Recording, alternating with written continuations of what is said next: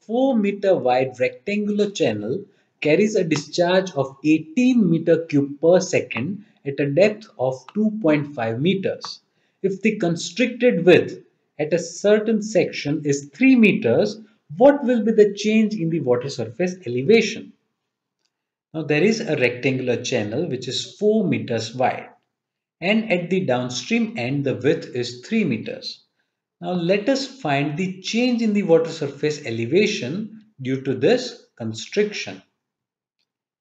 As bed elevations at both the sections remain same, there will be no change in the value of specific energy at both the sections. Okay, now let us find let us find out the change in the water surface elevation. Now width of the channel at upstream section okay, width of the channel at the upstream section is 4 meters. Constricted width is 3 meters.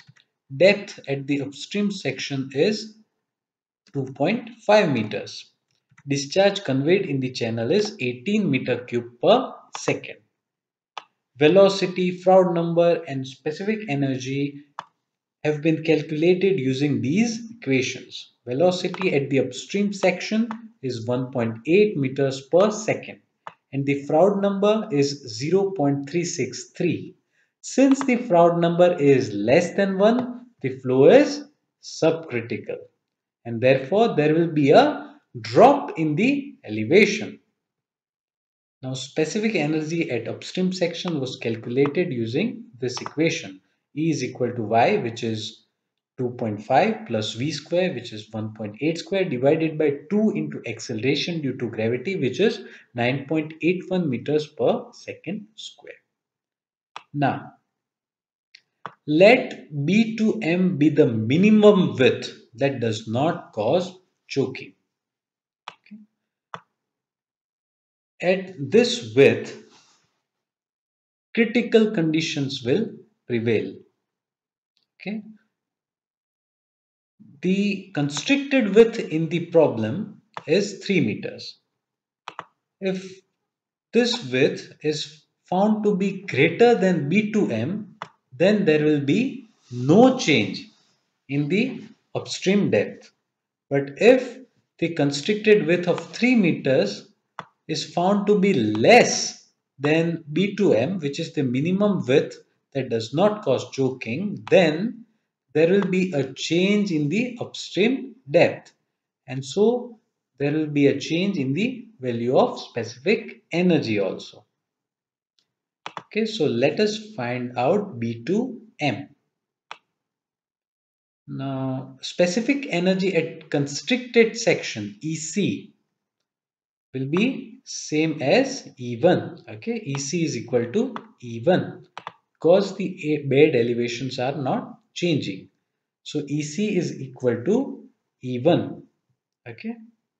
And depth at the constricted section is equal to critical depth which is equal to 2 by 3 multiplied by 2.665 okay at b2m width the flow will be critical okay so we can use the critical depth equation for rectangular channel okay so the critical depth is 1.777 meters. The minimum width, okay, which does not cause choking, uh, was obtained using this equation. This equation was derived from the equation of critical depth for rectangular channel. YC is equal to Q square divided by G into b square b is the width raised to 1 by 3 okay. If you bring b on the left hand side we will get this equation. So the minimum width is 2.427 okay. And the width given in the problem is 3 now since the constricted width is greater than the minimum width there will be no choking. Okay, choking conditions will not prevail because the constricted width is greater than the minimum width. Okay. Uh, and so there will be no change in the upstream depth. Okay. Now we will find the value of y2. I repeat, as this constricted width is greater than the minimum width that does not cause choking, okay, as B2 is greater than B2M, there will be no change in the upstream depth. Okay. If the constricted width was, uh, let us say, 2 meters, then there would have been some change in the upstream depth and choking conditions would have prevailed.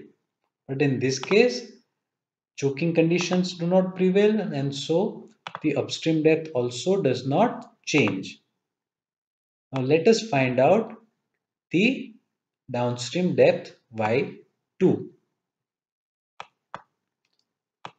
We'll be using solver to find the downstream depth y2.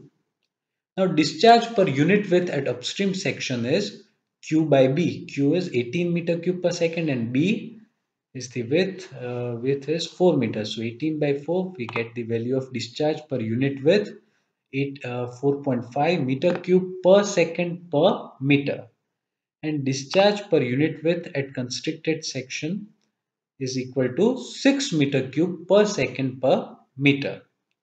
Okay? So as the width reduces of course discharge per unit width will increase. Now specific energy at constricted section E2 is equal to E1 okay? I already mentioned that before. Now we will use this specific energy equation to find the value of y and for that we will use solver so the value of this cell should be equal to 2.665 by changing the value of y2 depth at constricted section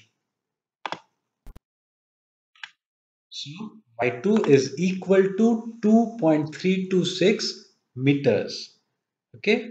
Y1 at the upstream section is 3, uh, 3 meters and Y2 at the constricted section is 2.326 meters and the change in elevation is 0.174 meters.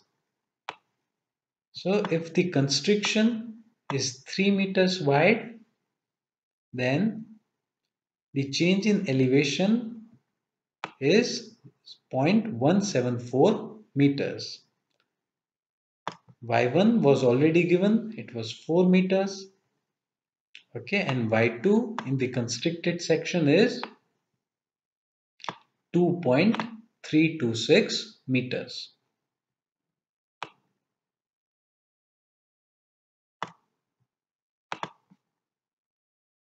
Now, what would happen if the constricted width was 2 meters instead of 3 meters?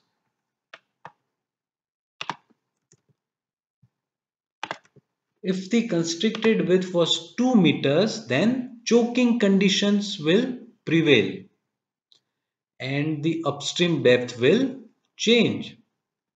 Okay, let us see. Yes, is the constricted width less than the minimum width that does not cause choking? Yes, it is less than B2M and therefore choking conditions will exist and there will be a change in the value of upstream depth. If choking conditions exist, use solution 2. Okay. Now discharge per unit width at upstream section is 4.5 meter cube per second per meter and discharge per unit width at constricted section is 9 meter cube per second per meter. Okay, they were obtained using this equation. Q is 18 and B is 4 meters at upstream section and 2 meters at the constricted section. Now, Critical depth at the constricted section can be obtained using this equation for the rectangular channel. okay yc is equal to q square by g raised to 1 by 3 okay? And q we have already calculated g is the acceleration due to gravity. So for a rectangular channel uh, we can obtain critical depth using this equation. And in this case critical depth is 2.021 meters. And specific energy at critical depth can also be easily obtained using this equation EC is equal to 1.5 into 2.021 okay? So specific energy at critical depth is 3.032 and E1 dash the new specific energy at this section will be the same as the specific energy at section 2 or at the constricted section. Okay E1 dash is equal to EC2 therefore E1 is also equal to 3.032 meters. Now we've obtained the value of specific energy. We will use this equation of specific energy to obtain the new upstream depth y1 dash. And we will obtain y1 dash using solver. Okay set objective 3 3.032 variable cell y1 dash okay. So the new upstream depth is 2.910 meters. And the depth at the constricted section is 2.021 meters as calculated before okay so if the constricted width is 2 meters then choking conditions will prevail the depth at the upstream section increases okay y1 will be equal to 2.910 meters and y2 will be 2.021 meters. Similarly, we can obtain the value of y2 and y1 for different widths. Okay, so if the constricted width was 3.5 meters, there would be no change in the upstream depth. If the constricted width was 3 meters, uh, also there will be no change in the upstream depth the downstream depth uh, will reduce okay if the constricted width was 2 meters then the upstream depth will change due to choking conditions.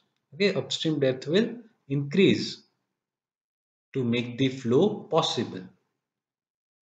Okay so if the constricted width is 2 meters the upstream depth changes from 2.5 to 2.91 meters and the downstream depth as we just calculated using solver is 2.021 meters okay if the constricted width uh, is 1.5 meters then also uh, choking conditions will exist and depth at the upstream section will change to make the flow possible and depth at uh, the constricted section can be obtained using solver.